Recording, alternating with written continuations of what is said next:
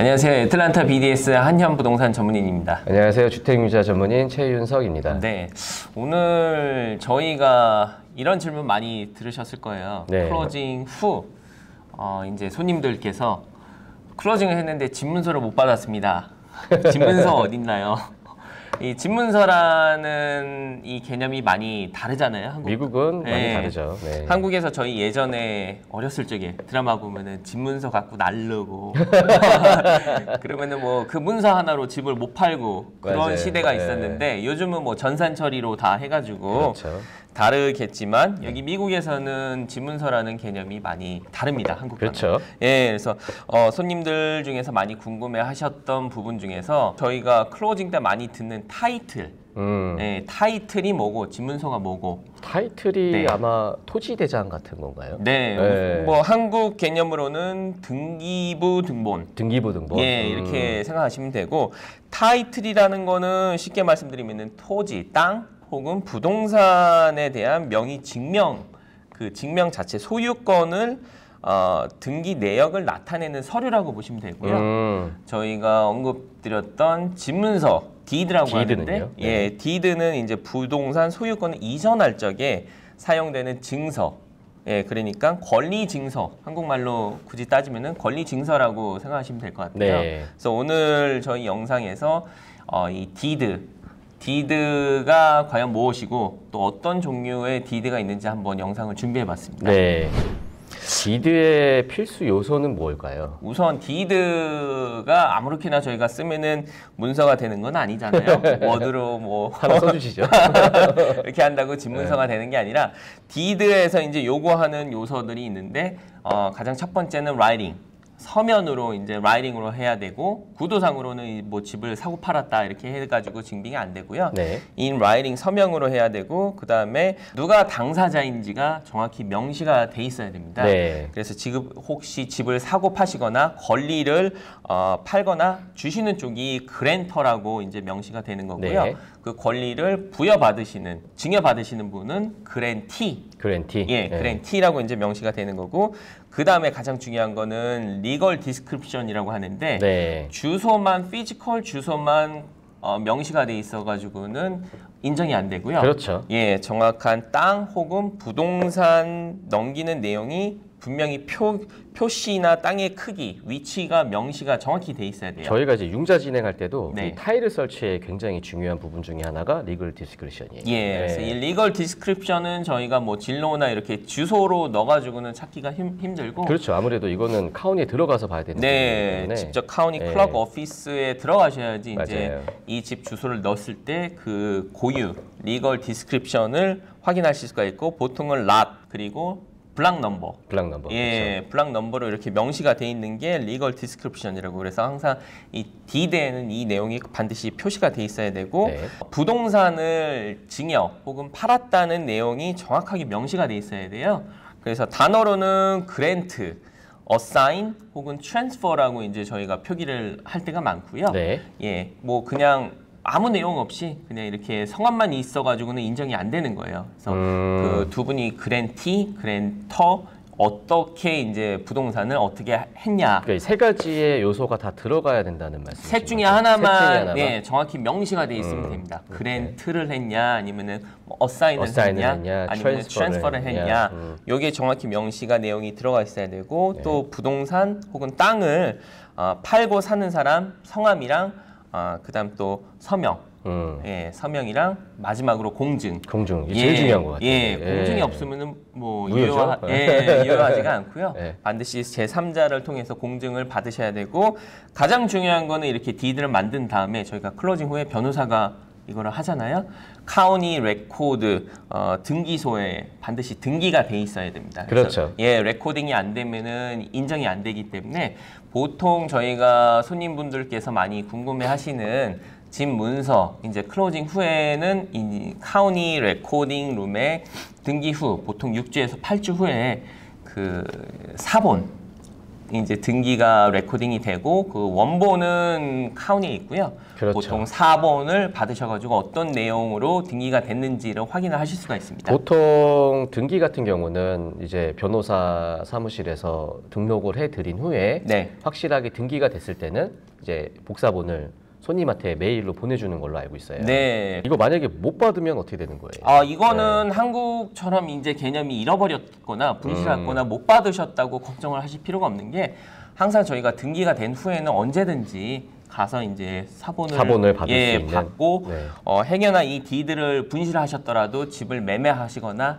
뭐 나중에 증여하실 적에는 전혀 문제가 없습니다. 그렇죠, 아무래도. 예, 네. 그래서 어, 이 증서라고 생각하시면 될 것 같아요. 권리 증서기 때문에 이 deed가 그렇게 그냥 그 document, 그냥 paper지 어, 이거를 분실했다고 해가지고 한국 개념처럼 뭐 집을 매매하시는 데는 큰 문제가 직접적인 문제가 없고요.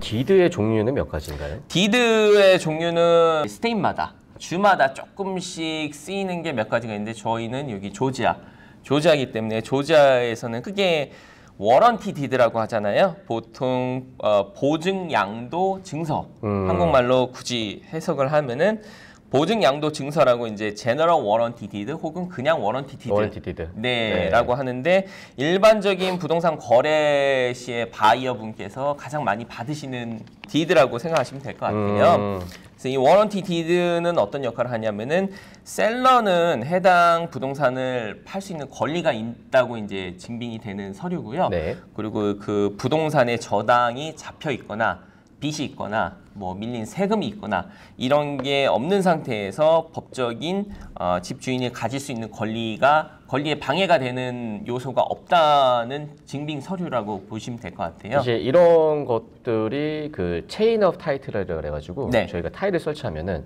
이 deed에 올라와 있는 빚이 있나 없나 그런 거를 좀 확인을 하거든요. 그렇죠. 예, 이제 그랬을 때 이- 이런 뭐 mortgage 말고 네. 제 3자가 걸어놓은 어떠한 근저당 설정권 같은 것들이 있나 없나를 확인을 하고 그런 것들을 반드시 다 clear를 해야 이런 어떠한 매매가 끝까지 이루어지는 거네요. 네. 그래서 어, 한국말로 말씀드린 것처럼 이 보증 양도 증서, 보증이라는 단어, warranty라고 이제 그 영문으로 이제 표기가 돼 있잖아요. 음. 그래서 general warranty deed 혹은 그냥 warranty deed라고 이제 표하는 건데 이 warranty deed가 가장 어, 흔하고 음. 가장 보호를 많이 받는다고 생각하시면 될 것 같아요. 맞아요. 네, 그래서 이 warranty deed가 가장 흔하게 쓰이는 warranty deed고 또 캘리포니아 같은 경우는 warranty deed가 아니라 grant deed라고 또- grant deed. 예, grant deed라고 많이 쓰이는 경우가 있고 어, 또 이쪽 warranty deed 다음으로는 special warranty deed라고 한국말로 특별 보증 양도 증서라고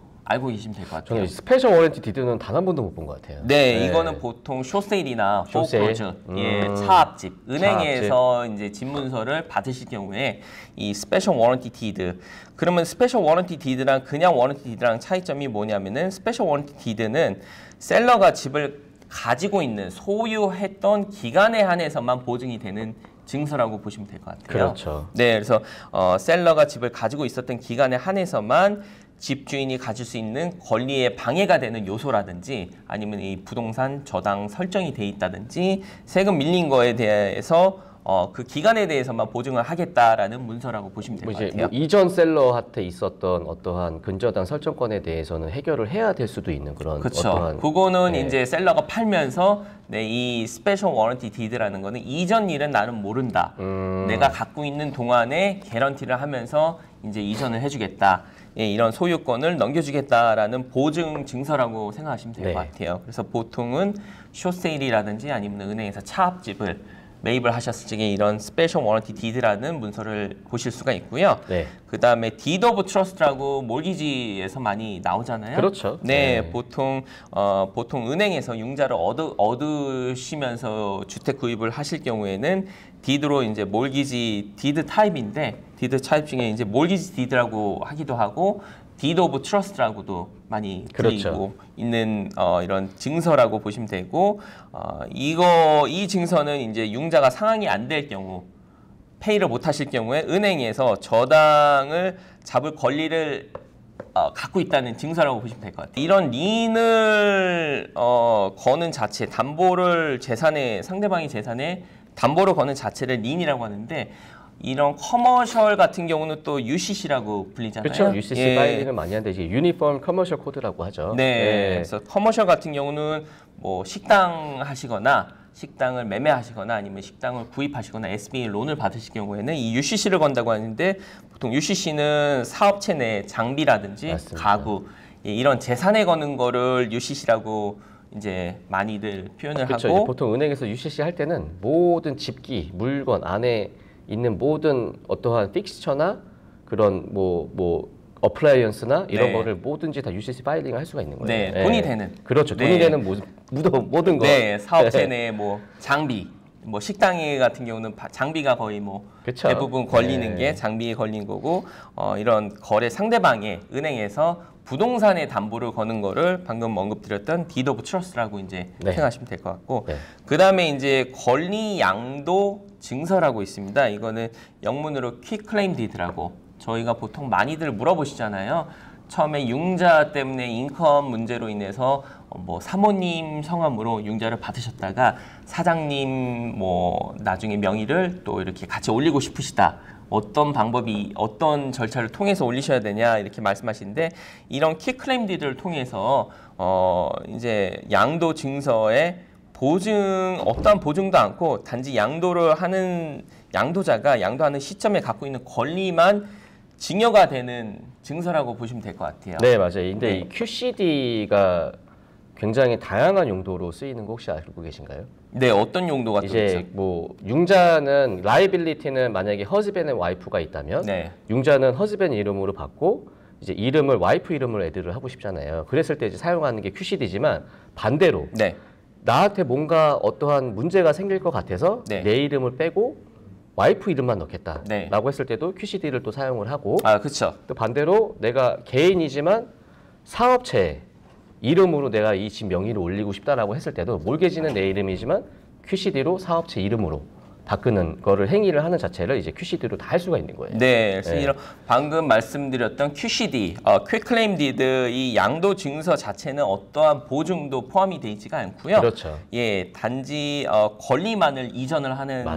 증서기 때문에 방금 이렇게 이름을 명의를 애드를 하신다든지 아니면 뺀다든지 아니면 예. 사업체 이름으로 바꾼다든지 네, 굉장히 공동 명의. 다양하게 이제 사용되어 할 수 있는 그런 어떠한 증서인 거죠. 네, 그래서 흔히 뭐 이혼을 하시거나 아니면은 공동 명의로 추가하실 때 맞습니다. 이렇게 네. 특별한 절차를 거치지 않고 단순하게 이제 권리 양도 증서라고 하는 맞습니다. QCD, 네. Quitclaim Deed를 통해서 이제 어, Deed에 성함을 올리셨다가. 네. 빼실 수가 있습니다. 네. 그래서 이 조지아에서 가장 많이 쓰는 이렇게 Deed 종류 이렇게 세 가지로 알고 계시면 되고 Warranty Deed, 그다음 Special Warranty Deed, Quitclaim Deed 이렇게 많이 알고 계시면 되고 주마다 약간씩 쓰이는 Deed 종류는 또 여러 가지 종류가 있을 수가 있습니다. 네. 그래서 어, 오늘 이렇게 Deed 많이 궁금해 하셨는데 집 문서 내 집 문서 어디 있냐 나 못 받았다 이렇게 하시는 분 거- 너무 걱정하지 마시고요 어, 집 문서라는 건 이런 어, 역할을 하는 증서 단지 이제 paper라고 생각하시면 되시기 때문에 혹시 뭐 분실을 하셨거나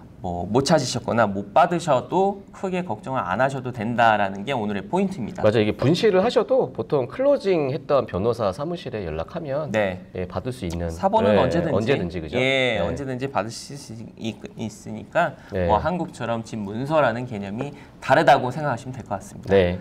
네. 어, 오늘 이렇게 집 문서에 대해서 저희가 영상을 준비해 봤고요. 또 더 궁금하시거나 또 어, 질문이 있으신 거는 저희한테 이메일이나 댓글을 남겨주시면 또 준비하도록 하겠습니다. 지금까지 애틀란타 BDS의 한현 부동산 전문인이었습니다. 주택융자 전문인 최윤석이었습니다. 감사합니다.